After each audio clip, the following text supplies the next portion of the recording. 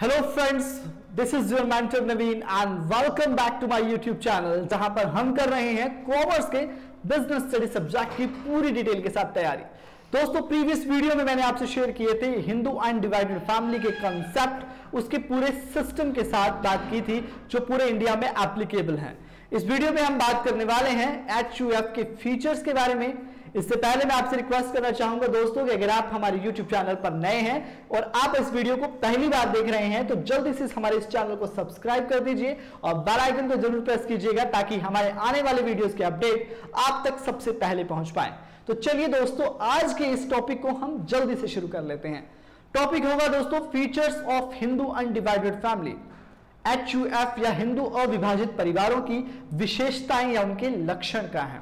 दोस्तों, पहली कैरेक्टरिस्टिक्स की तरफ़ बढ़ते हैं जिसपे लिखा गया है कि हिंदू डिवाइडेड फैमिली की पहली कैरेक्टरिस्टिक है मेंबरशिप बाय बर्थ जन्म से ही सदस्यता मिल जाती है। जैसा कि मैंने आपसे पहले भी कंडीशंस में भी अप्लाई किया था कि इस परिवार में जन्म ले लेने मात्र से ही आप इस व्यवसाय के सदस्य बन जाते हैं। तो इसकी सबसे बड़ी विशेषता यही है कि जैसे ही आप इस हिंदू डिवाइडेड फैमिली में ज्वाइंट फैमिली में जन्म लेते हैं। आप बिना किसी एग्रीमेंट के ही इस परिवार के क्या बन जाते हैं? मेंबर बन जाते हैं। क्लियर अब बात करते हैं हम सेकंड फीचर की, जो है मैनेजमेंट इस पूरे बिज़नेस को मैनेज कौन करेगा? इस पूरे बिज़नेस को जो कंट्रोल करेगा, वो होगा कर्ता। मैंने पहले भी ये वर्ड पिछली वीडियो में क्लियर किया था। कर्ता कौन होता है? ओल्ड एज पर्सन सबसे बड़ी उम्र का व्यक्ति इस घर का करता होता है। वो करता ही पूरे बिज़नेस की क्या करता है? मैनेजमेंट करता है और इसी कर्ता को राइट होता है। किसी भी कॉन्ट्रैक्ट और अग्रीमेंट को पास करने का या उसको साइन करने का। क्लियर हो गई बात?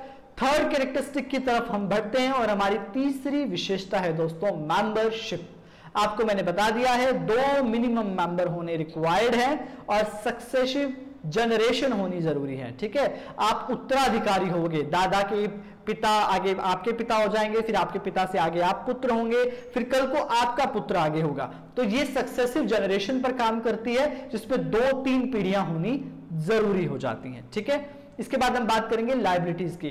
दोस्तों, हमने बात की थी अनलिमिटेड लाइबिलिटी और लिमिटेड लाइबिलिटी के कंसेप्ट पर।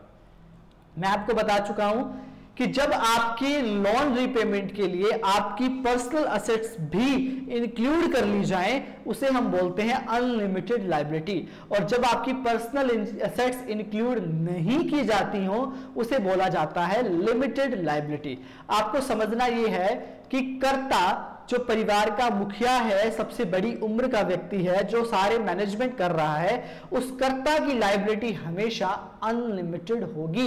इस मीन दैट कर्ता अगर कल को बिज़नेस की संपत्ति बेचने से लोन रिपेमेंट नहीं हो पा रही तो कर्ता अपनी पर्सनल असेट्स को सेल करेगा उस लोन की, उस डेब्ट की रीपेमेंट के लिए। लेकिन जो को पर्सनर्स होते हैं, जो बाकी सह सम्मानशी होते हैं, उनकी लाइबिलिटी हमेशा लिमिटेड रहती है। इट मीन दैट वो लॉस होने पर अपने पर्टिकुलर शेयर तक का ही लॉस बियर करेंगे।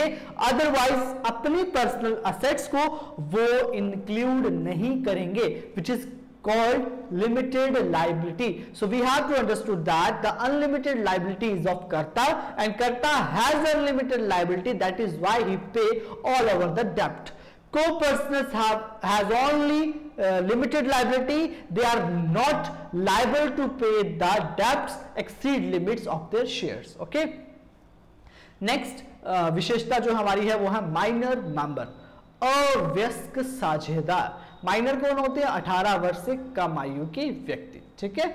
18 वर्ष से कम आयु का जो बच्चा है जो बालक है उसके ऊपर कोई पाबंदियाँ कोई रेस्ट्रिक्शन नहीं है। वो कोई बिना रेस्ट्रिक्शन के इस एचयूएफ फैमिली का क्या बन सकता है? मेंबर बन सकता है। और एचयूएफ फैमिली में ही एक ऐसी बात है जिसमें कोई भी माइनर इसका मेंबर बन सकता है। अगर हम बात करेंगे रजिस्ट्रेशन की तो जी हाँ रजिस्ट्रेशन बिल्कुल कंपलसरी है और रजिस्ट्रेशन इतना कंपलसरी है कि आपको हिंदू लॉ के अकॉर्डिंग गवर्नमेंट से एक सर्टिफिकेट इशू करवाना होता है कि आप इस बिज़नेस को रन करने वाले हैं। क्लियर है? और लास्ट आपका जो फीचर है, वो है अधिकार। राइट्स की बात हो रही है और यहाँ पर यह कहा गया है कि को पर्सनल्स भले ही मैनेजमेंट में भाग नहीं लेते हैं, लेकिन दोनों ये जो भी कॉपर्सनर्स होंगे, इनके पास राइट है ये पूरे बिज़नेस के, पूरे एच के, कोई भी रिकॉर्ड को चेक कर सकते हैं या किसी भी अकाउंट की जानकारी ले सकते हैं, ये इनके पास विशेष अधिकार है, इनके पास राइट है। तो दोस्तों, आज की इस वीडियो में मैंने आपके साथ डिस्कस किए हैं हिंदू अनडिवाइडेड फैमिली के फीचर्स अगली वीडियो में हम बात करेंगे निजी उपक्रम के एक नई फॉर्म्स की। तब तक के लिए इस वीडियो को ध्यान से देखिए, पढ़िए, सुनिए और समझिए। और आपके कोई भी डाउट या कोई भी क्वारीज हो तो मुझे कमेंट बॉक्स में जाकर के ज़रूर बताइएगा, ताकि मैं आपके लिए और बेहतर टॉपिक को बनाकर ला सकूँ। तब तक के लिए जुड़े रहिए हमारे चैनल के साथ और इसको लाइक और सब्सक्राइब करना नहीं भूलें। मिलते हैं नेक्स्ट वीडियो में। Thank you good bye and take care